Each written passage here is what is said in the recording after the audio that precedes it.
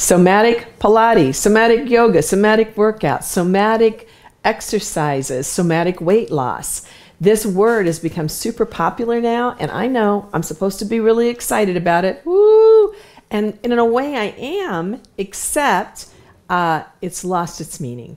So, I'm from the field of somatic education, specifically the Feldenkrais method. There are other fields Alexander Technique, Body Mind Centering, Continuum, Mm, Bones for Life, Hanna Somatics. And these are actual fields of study that have been around for decades. And that I think is what you're looking for. That is what I think you're looking for.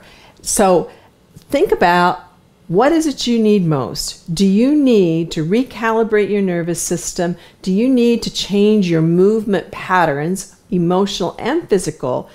Upgrade them so that you have less pain and more comfort. Then you want to come to the three part life series I'm offering.